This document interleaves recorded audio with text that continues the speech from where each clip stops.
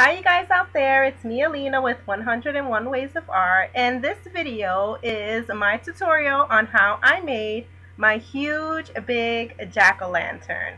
I've been wanting to make a big huge jack-o'-lantern for a couple of years now and I finally tried and I was successful in it so here's my video on how I did it.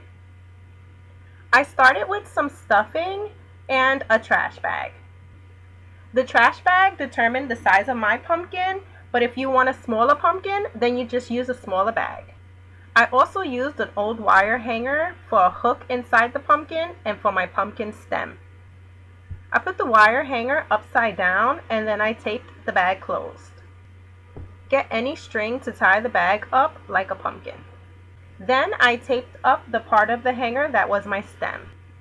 So I made my pumpkin out of paper mache so you guys are going to need a lot of paper and any paper will do.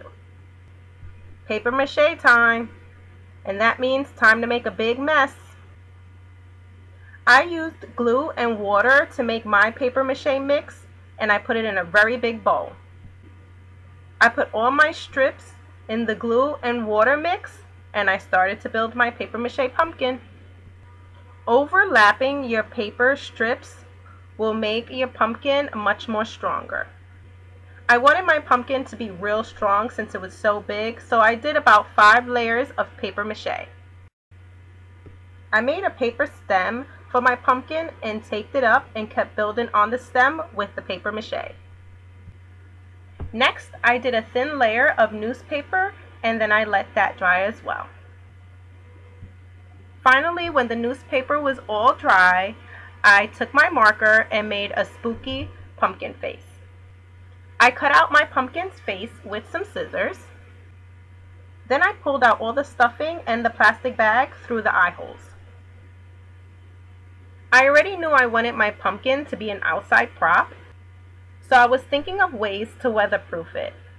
So my husband came up with a great idea for using a Bondo fiberglass resin kit to protect it from the weather.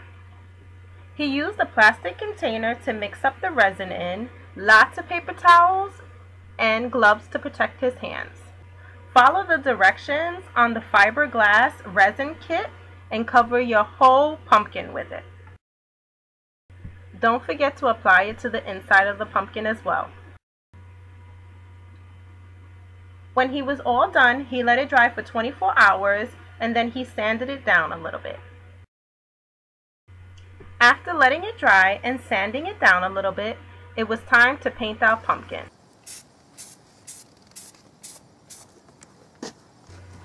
We just used spray paint to paint our pumpkin.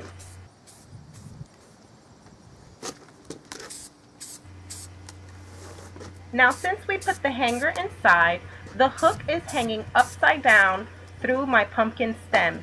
So you can put a light bulb in it or you can hang some lights from it. And that's it, my pumpkin was complete. Me and my husband really enjoyed making this big jack-o'-lantern and I think it came out better than I really expected it to. So I'm really excited for next year to make him a body.